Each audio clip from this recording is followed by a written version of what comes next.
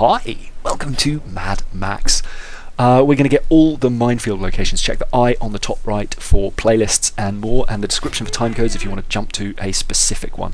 First up, Blackmaws. Apologies for the jerky thing, I didn't have a very long map, but Blackmaws bottom left, there's one right there on the border with Colossus. And then another one over to the left. Uh, most of these you'll uncover while you're just driving around.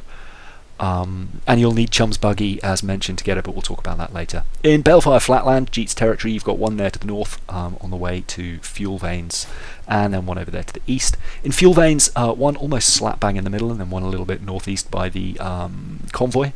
Dry Gustie, uh, one there by the convoy. Haven't done these yet, I just thought I would show these because I was struggling to find them myself. And another one there. And then Colossus, there is but one. Uh, it is there. So that's nine minefields in total, two in each of the regions and only one in Colossus. Um, now, to unlock the buggy, uh, plug through the story until Chumbucket offers you a secondary mission like that. Have a chat with him. Recall our companion, Dinky-di. Um, he'll give you this mission, and all you have to do is drive back to Chumbucket's hideout, which has been blown up. Uh, spoiler, sorry.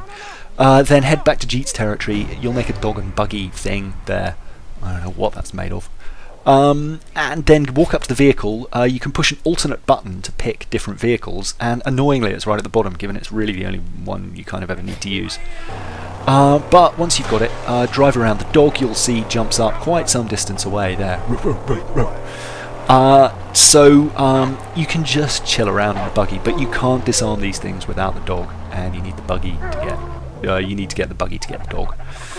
Uh, drive around, and as you drive around, the dog will be pointing in the direction these things are, and they'll pop up like that, red. Um, so jump out and disarm them. Um, there's typically three, I haven't found more per minefield. There's another one. Uh, just did a tuck and roll onto this one. Careful when you do a tuck and roll.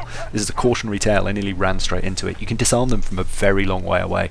You can also run the car over them. Uh, that'll count as a kill, but it won't if you walk over them yourself. However, it will destroy the vehicle, and since Chumbucket's not in the back, you can't repair it. It's going to cost you 220 scrap to repair, so be careful there. But it will count as a deactivation. Anyway, that's it. On the left, um, the the Vantage outposts um, for Jeet's territory. All of those, there's a couple of tricky ones. And on the right, I think that's um, Balefire Flatlands. Uh, but also check the playlist and the description and all those other good things. okay, that's it for now. I'll see you in the next video. Bye.